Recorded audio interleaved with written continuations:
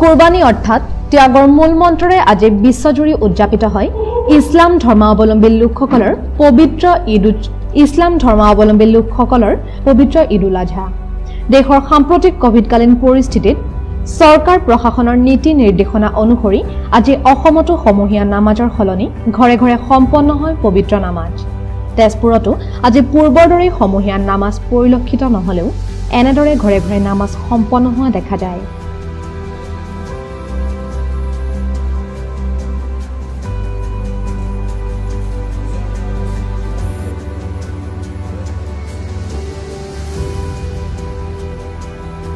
এয়া তেজপুৰ পাঁচ মাইলৰ অৱসৰপ্ৰাপ্ত শিক্ষক তথা প্ৰাক্তন ছাত্ৰ নেতা শ্বেখ চাহাবুদ্দিনৰ পৰিয়ালত হোৱা নামাজৰ এক দৃশ্য।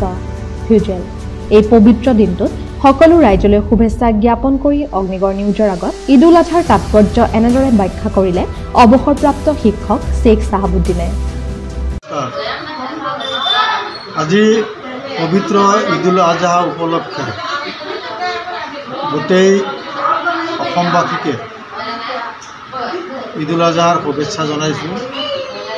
ঈদ উল নামাজটো হ'ল ত্যাগৰ নামাজ আৰু যিমান আমাৰ ভিতৰত যিমান বিদ্বেষ ভাৱ বা কি ধৰণৰ অশান্তি পৰিৱেশ এইবিলাক চব ত্যাগ কৰি আজি আমি সকলোৱে এটা প্ৰতিজ্ঞাবদ্ধ হ'ব লাগে যে আমি সকলোৱেই শান্তিত বসবাস কৰিম শান্তিৰ অসমত থাকিম শান্তিৰ ভাৰতত থাকিম। সকলো জাতি ধৰ্ম বৰ্ণ নিৰ্বিশেষে আমি যাতে একেটা মঞ্চত থাকিব পাৰোঁ এটা সমন্বয়ৰ এনা এনাজৰীত যাতে থাকিব পাৰোঁ। এইটোৱে মই আজি আপোনালোকৰ জৰিয়তে মই গোটেই অসমবাসীক মই আহ্বান জনাইছোঁ। এটা অসুবিধা হৈছে যে ঈদ নামাজটো আমি সদায় ঈদগাহত পঢ়োঁ ঈদগাহ ময়দানত পঢ়োঁ। কিন্তু এইবাৰ মহামাৰী ক'ভিড নাইণ্টিনৰ কাৰণে আৰু চৰকাৰে দিয়া নিৰ্দেশ বা প্ৰশাসনে দিয়া নিৰ্দেশ মতে আমি ঈদগাহত বা মছজিদত এই নামাজ পঢ়িব পৰা নাই। নিজৰ নিজৰ ঘৰতে এই নামাজ আদায় কৰিছোঁ আৰু নিজৰ ঘৰত নামাজ আদায় কৰি আমি সকলো কাৰণে দোৱা কৰিছোঁ।